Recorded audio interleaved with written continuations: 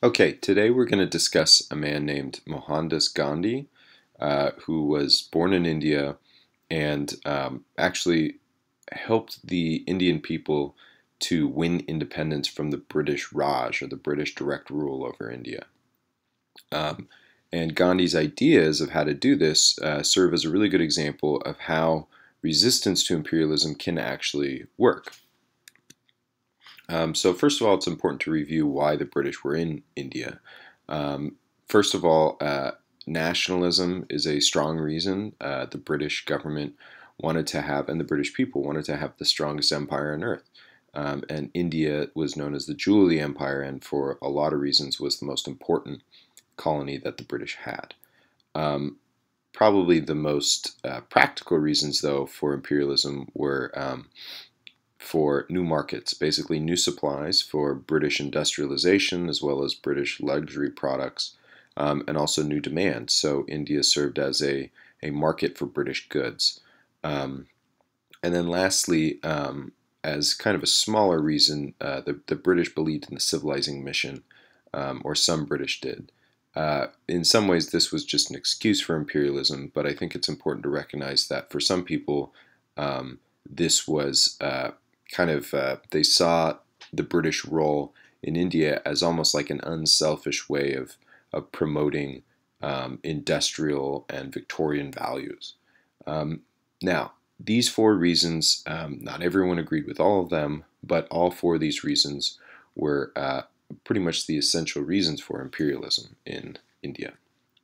Um, just as a review, the British Raj, after the Sepoy Mutiny, um, had direct control over India.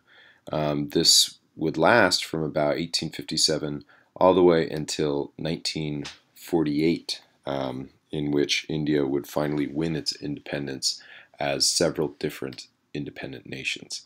Um, as part of uh, this direct rule, though, the British believed that India could rule itself, but only when it was civilized enough. And so until then, the, the British government passed all laws in Britain um, they built this modern infrastructure in India, which included railroads, but also educational institutions and universities. Um, the British also promoted Protestant Christianity, um, whether explicitly um, by having missionaries in India or implicitly um, by, for instance, uh, injecting uh, Protestant Christian ideas into some of their statements. Um, and the British also promoted free trade, which was really the most important uh, part of the British Raj was that uh, British businesses and really global businesses um, were able to participate in the Indian economy really without the, the say of the Indian people. Um, so uh, the British government itself basically um, was set up with a, a, viceroy who directly ruled India um, in uh, Calcutta and then after 1912 actually in Delhi. Um, these are Indian cities. So in some ways, he's like the the president of India, but he's British, and the Indians don't get to vote on any kind of national policy. Period. So this is not a democracy. This is actually a British imperial rule over, um, you know, hundreds of millions of Indian people. Um, Indians could become part of something known as the civil service, uh, which is kind of like the government bureaucracy or the government management system. It'd be like working for um, the U.S. government, but they are not able to vote on anything. Um, moreover, Indian industry under the British Raj uh, really suffered because the British uh, promoted this idea of free trade in which um, any business could operate in India regardless of where they were from, and any business could, um, you know, import and export out of India with very, very low taxes. Um, this essentially meant that um, countries that uh, had industrialized earlier had an advantage because they had more financial backing, they had more um, industrial resources, and they had more experience. And these companies um, really were at the same starting point as Indian companies, and so they had an advantage within the Indian economy. Um, Indian businesses basically couldn't catch up and they couldn't compete with the British or uh, German or American companies that operated in India. Um, this meant that for the most part, for the average Indian, uh, the economy remained stagnant. um, although they could get a job in the civil service or get a job with a British company, um, Indian companies were not really able to develop, and so the Indian economy was was pretty much stagnant, while the British economy benefited greatly from this. Uh, there were exceptions to this. Um, probably the, the most prominent was a man named Jamsetji Tata, um, and this guy actually um, was an Indian industrialist, but the way he was able to get a start was by importing cotton from Egypt.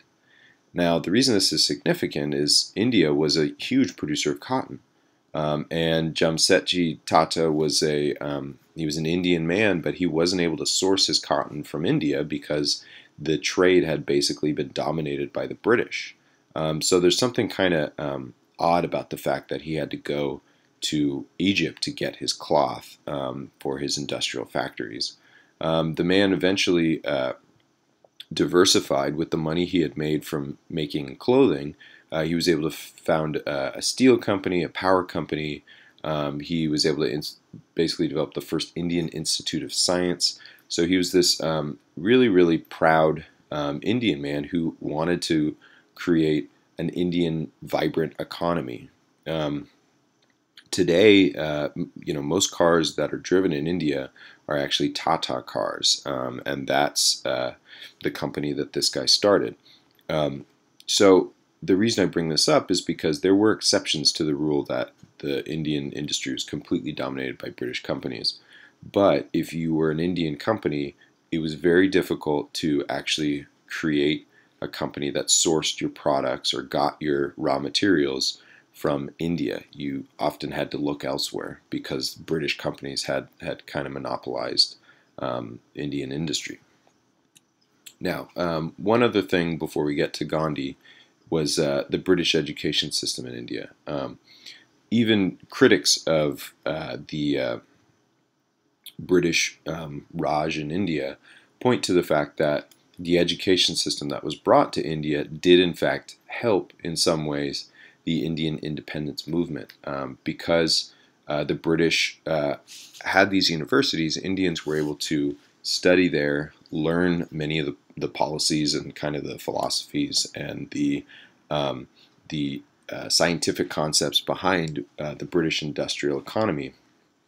And um, as a result, you had, you know, for instance, 60,000 Indians had graduated by 1980. Um, and some of these people who graduated would become, you know, the strongest uh, Indian fighters for independence. Um, and uh, they basically were using the British education system um, as a way to kind of become familiar with the British policies, learn the British policies, and then um, kind of work to dismantle those British policies. Um, now, in order to actually resist the British, um, the Indians had established something known as the Indian National Congress. Um, at first, this was really just uh, a, a group of people that formed without the consent of the British um, who decided that they wanted a greater share in ruling India. They didn't actually want independence, they just wanted a, uh, a, a greater share in, in governing. Um, but after about 20 years of, of petitioning the, the British government, uh, this Indian National Congress hadn't gotten anywhere. So in 1905, they actually decided to change their tactics and focus on complete independence because they believed that they really would never get a share in governing India. Um, you know, the British wouldn't just give that up. And so um, in 1915, uh, 10 years after they decided to push for independence, a man named Mohandas Gandhi actually became president of this Indian National Congress. Um, so Gandhi was actually uh, he was a Hindu man born in India and born into a merchant caste. So that was a fairly high caste within the Indian society. Um, so he had some uh, pretty good economic and educational opportunities. He studied law in Britain, so he became a lawyer. Um, he first began practicing his law in South Africa. South Africa was also under British control and uh, was really under this even more repressive government system than India was. Um, and uh, Gandhi led many of the independence movements, or at least the nonviolent resistance movements, um, to end the kind of the rampant racism and discrimination that was taking place in South Africa. So, in a lot of ways, he um, got his first experience fighting the British in another colony in South Africa. Um, and then he later returned to India to advocate for independence. Um, and what he really was struggling with was the fact that um, the Indians couldn't just fight the British. That wouldn't work. They'd tried that. The British had um, more dominant technology, and not only that, it would probably, you know, result in this long, drawn-out, bloody conflict. Um, not only that, in 1915, the the Indian industry really relied on the British. Um, so even if the Indians did win independence, if they didn't already develop an economy, um, then they would kind of be left um, really vulnerable. They wouldn't have any way to make money.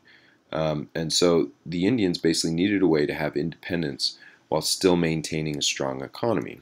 And so Gandhi actually came up with four um, real particular methods of achieving independence. And we're going to go through all four of them. The first was Swaraj, or self rule. The second one was Swadeshi, or self sufficiency. The third one was Satyagraha, or truth force. And the fourth one was really Indian nationalism. So let's look at the first, Swaraj. Um, so what Gandhi advocated for was instead of the Indian villages actually waiting for the British to make decisions, they would make decisions at a local level. So um, in other words, this involved everything from um, you know criminal law to um, determining policies uh, based on the agriculture in the area, um, and uh, to you know make voting decisions at a local level, not wait for the British. Um, and so this involved basically most Indian villages um, developing their own uh, local government systems, and they had not done this uh, because mostly throughout Indian um, history, there really wasn't necessarily a democracy. Um, either these uh, areas were under the imperial control of a foreign nation, or before that, they had been under the control of local, um, basically kings. Um, and so this was kind of a like a practice in democracy. Um, and so Gandhi advocated for uh, these villages to take back their politics. Um, the second one was self-sufficiency, which was maybe the most important one. This was a boycott on all British goods. So the whole reason that the British were in India was um, not only to get Indian products, but also to um, uh, sell British products to the Indians. And so if Indians refused to actually work for the British and refused to buy products made by non-Indian businesses, this would kind of cut off the, the profit motive for even being in India. Um, so, for instance, Gandhi advocated for making his own clothes, growing your own food. Here you have a picture of him actually using um, a spinning wheel, which he was very famous for doing. Um, so the Indians actually began to uh, try and survive without any sort of British product. Um, you also had something known as satyagraha or truth force. And basically, this was nonviolent protest and nonviolent um, cooperation with the British. Um, so, for instance, um, Martin Luther King Jr. would use this policy during the civil rights movement, um, and in many ways it was inspired by what Gandhi had done in India. Um, some of the basic principles of this is to, um, you know, harbor no anger against the British, but to stand in the way of the British, and in some ways take the blunt of the British anger towards you. Um, so in some ways, it's kind of absorb the British anger and the idea is that you don't retaliate, you don't actually um, assault or punish the British. You basically submit to the British imperial force. Um, and the idea was that by submitting and not resisting, the British won't continue to do this because they'll realize the cruelty of their own acts. Um, in some ways, this seems, you know, it doesn't seem like it would work at first, but it does. If you just stand in the way of a British soldier, without resisting but refusing to do what they ask, chances are the British soldier will react violently.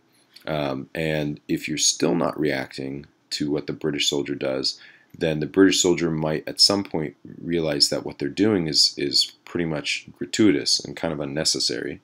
Um, and the British, as they're trying to um, enact these policies, uh, are basically the ones who are becoming uncivilized in trying to repress the Indian people. The Indian people are just kind of standing there not resisting. And so, in many ways, the reason it's called Truth Force is because it kind of unleashes the truth of the British actions, which is that they're cruel and they are, um, you know hurting the Indians. And um, the last one is really Indian nationalism. So Gandhi really promoted um, Indian culture, Indian music, Indian literature, Indian tradition. Um, and uh, this was a difficult task because Indians were such a diverse people. Um, they're, you know, maybe the biggest difference between Indians was the difference between religion, um, Hinduism and Muslims. But the Indians were able to really unite against um, the British imperialism. And so all Indians had one thing in common, which was that they were ruled by a foreign power and they didn't want to be ruled by a foreign power. Um, so Gandhi really encouraged all these various Indian cultural traditions um, while still trying to unite the Indian people in their fight against the British. Um, some sayings of Gandhi that um, I think give a good idea of what he's trying to do are this uh, are, are these. We who seek justice will have to do justice to others. There are many causes that I am prepared to die for, but no causes that I am prepared to kill for. The straight path is as difficult as it is simple. Were it not so, all would follow the straight path. And our ability to reach unity in diversity will be the beauty and test of our civilization. Um, in many ways, these are very, very similar ideas to what Martin Luther King Jr. preached in uh, the 19, late 1950s and 1960s in the United States during the Civil Rights Movement. So um, this works basically. Um, there are some things that help the Indian independence movement. Um, after World War II, actually not World War One, between 1939 and 1945, the British were financially and physically exhausted and unable to manage global empire. Um, so we will discuss World War One and World War II another time. But by about the 1940s, the British were pretty exhausted and unable to manage this giant empire. Here you can see every country in red was under control of the British government at some point. Um, so the Indian people, after having fought for the British for two world wars, um, began to increase their demands for independence. And really, two years later, uh, the Indians were able to achieve this independence. Um, they they did this by refusing to do things the British way, but refusing in a civilized, non-violent, non-cooperative way. Um, they also did this by embracing their own Indian traditions, whether they're both just Indian economy or um, Indian culture. And um, this would result in a few separate states India, Pakistan, Bangladesh, and Nepal um, were all independent states created uh, by the British giving independence to India. Um, and Gandhi would actually be assassinated a year later um, by a Hindu extremist who pretty much believed that the Hindus uh, were not as favored as the Muslims during this independence, which he blamed Gandhi for because Gandhi advocated for un unity between Hindus and Muslims. Um, so there's kind of a, a, sad after after note about this, which is that Gandhi's policies and what he advocated for, um, eventually, you know, didn't it didn't sit well with all Indian people. Nevertheless, his way of preaching unity actually was what gave the Indian people the strength in many ways to resist the British and to actually achieve their independence. So, just as a review, it's basically, um, you know, the way to resist imperialism in this way is to, um, first of all, unite amongst yourselves to make decisions for yourselves and to uh, have an economy for yourself. So you're not actually participating in the British economy. These things were a lot harder than they seemed, but um, by doing them, the Indian people were able to basically resist and achieve their independence.